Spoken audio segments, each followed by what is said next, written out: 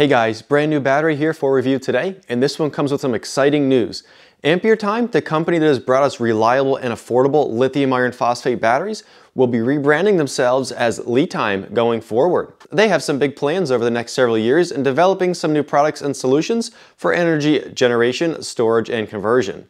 You can read all about this announcement on their website, which I will leave a link to down in the video description. This is one of their batteries under their new brand name. This is a 12 volt, 100 amp hour lithium iron phosphate battery. We'll go through the usual process. We'll take a look at the features, we'll do a capacity test, and then we'll tear it down to see how it's built inside. Taking a closer look at the battery here, we see this is 12 volt, 100 amp hour like we already said. This is the Smart Edition. It's got a newer Smart BMS in. On the top here, we have a serial number in the top left corner.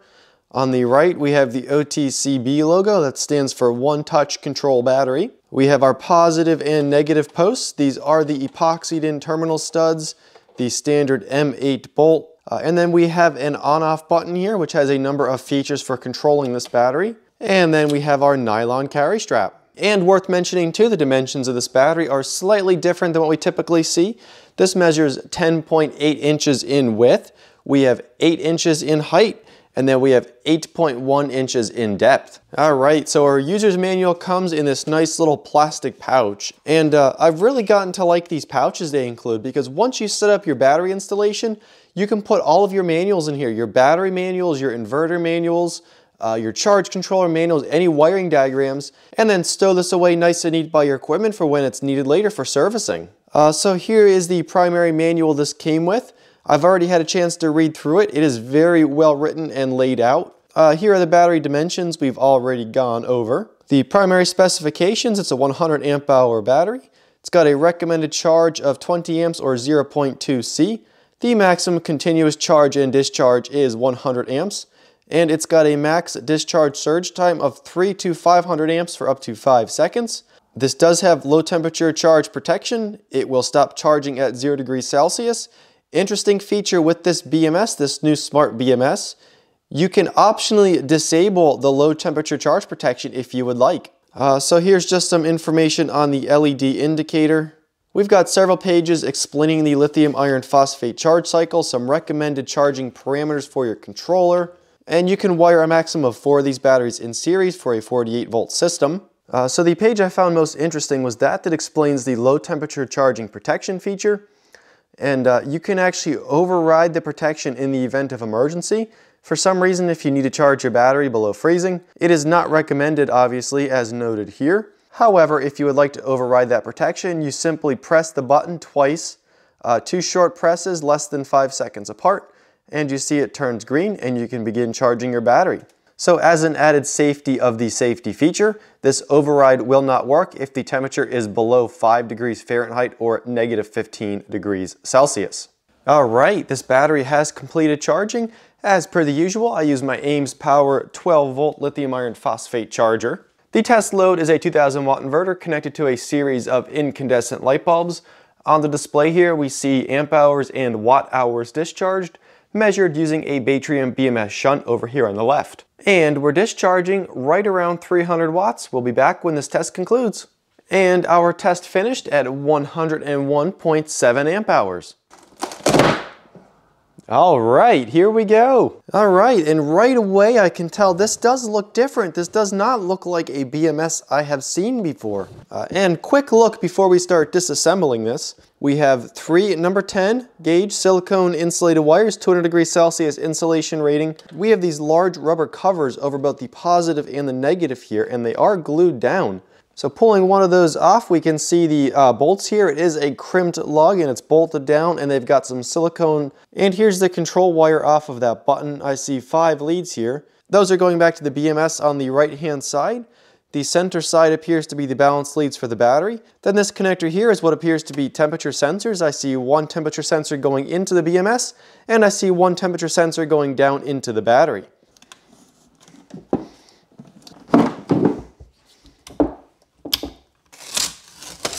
It was not easy to pull that BMS off. They had it glued on there pretty well. It's pretty much just the adhesive from the foam that was holding it across the top here, but man, it had a good hold in those cells. But otherwise, look at this battery here. This is built very, very well. I noticed right off the bat, these are GFB cells. They are model number 0ALCB8351000D.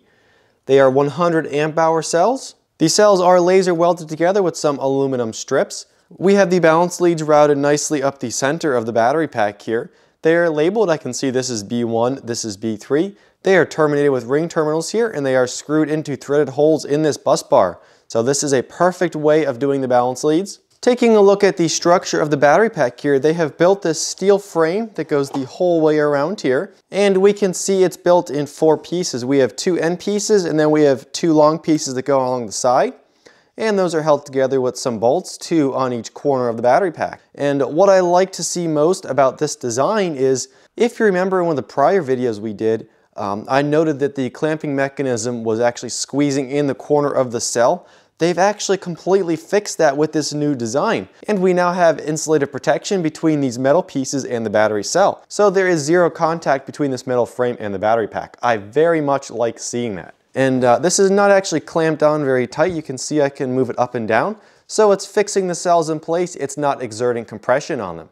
So taking a look at the other side of the battery pack, we can see the main negative. The three conductors go onto the battery over here. We have the main positive here I've pulled back the cover. It's got a threaded nut on the end and there's a screw holding together the main negative lead.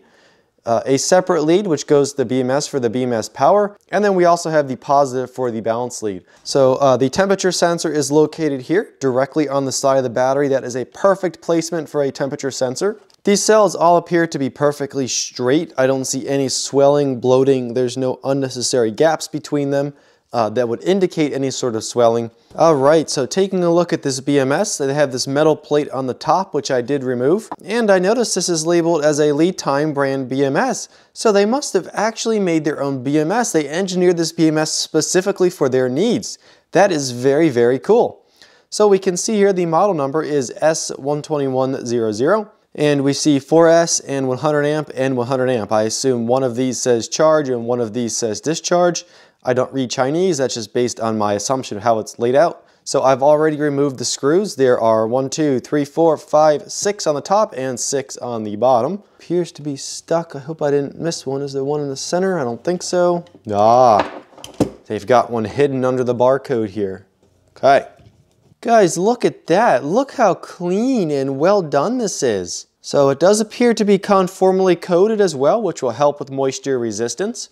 We can see here where the second temperature sensor comes down and is affixed near the FET transistors. And it looks like they must have a version of this with self-heating. I see a place where a transistor would go to control a heating circuit and some other unsoldered pads here. But uh, where the balance lead comes in here, we can see the four bleeding resistors if this does need to balance, and the transistors that control those bleeding resistors. We see the communications input here. We have LEDR, LEDG, so I assume that's green and red, and that explains the fifth lead we saw. We have uh, VDD, ground, B4, and switch. So that's actually six pins. Is there six? Did I miscount those wires? Nope, it appears they are not using uh, lead number three. So they've got switch, B4, VDD, LEDG, and LEDR, but the ground pin is not actually connected. And I did notice here on the left it says Surdance and then it says August 22nd, 2022. So maybe this is the manufacturer of the PCB. And we just have another series of FET transistors on the bottom. Not too much to see. Uh, I assume one side's probably the charge FETs and one side's probably the discharge FETs. All right, so now we're ready to test the low temperature charge protection of this BMS. The LED is flashing on the display, it's turned on. So we're going to go ahead and turn up the voltage of this, of this power supply. Uh, so we're charging the battery at approximately 9 amps. Just going to spray this temperature sensor with the uh, computer duster, which should put it well below freezing here. Instantly, almost instantly, that was about three seconds it took to shut off. So the last step is to check the over temperature protection. I have a heat gun here for that. All right, and you see it stopped charging. That took approximately eight to nine seconds, I was counting there. So all of the thermal functionality works flawlessly in this battery. So there we have it, the 12 volt, 100 amp hour lithium iron phosphate smart battery from Litime, formerly known as Ampere Time. Now one thing I wanted to touch on too is the warranty of these batteries. In the past, the last time we saw a brand change from an unrelated company, viewers expressed concern over the prior warranty commitments. I asked this question up front to LiTime and said, what happens to the warranty on ampere time batteries? And they let me know that LiTime will be covering all of ampere time and LiTime's warranty and service needs going forward. The ampere time batteries are still under warranty. If you have a question regarding the warranty on either ampere time or LiTime batteries, you can go ahead and send an email to the address shown on your screen and they will help you out and get your questions answered. Lastly, let's take a look at pricing. The battery we tested today sells for $480. They do have another version without the smart BMS functionality or low temp charge protection, which sells for $330, also including free shipping. They did provide me with a discount code I can share to take 3% off your order. You can find that discount code along with links to both of these batteries down in the video description. And using that link to purchase your battery tells them that you saw this video and it also helps me fund more projects on this channel. As always, any questions or comments, please feel free to leave them. Hit that like button before you go, and thanks for watching.